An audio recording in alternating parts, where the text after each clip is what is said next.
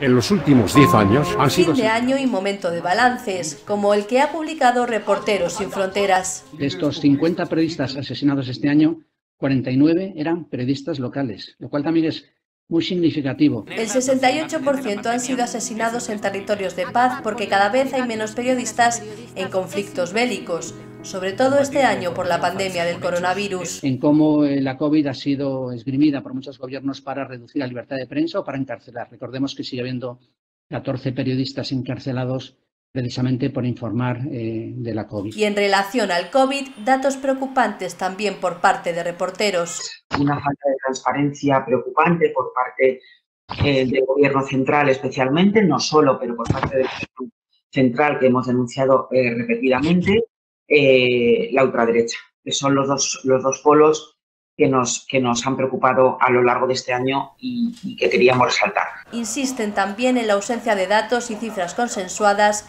además de haber pasado la primera ola de la pandemia sin apenas imágenes. El baile, la ausencia fiable de datos y cifras, es algo que yo me atrevería a calificar de escandaloso.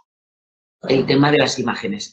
Pensamos que hemos vivido eh, esencialmente en la primera ola, no tanto ahora, eh, una pandemia sin imágenes, una pandemia eh, sin, sin, fotos prácticamente ni vídeos. La presentación se ha cerrado con una preocupación y viene precisamente de China, que negó la evidencia en un principio, según reporteros, algo que provocó que nuestra capacidad de reacción ante lo que se nos venía fuera mermada.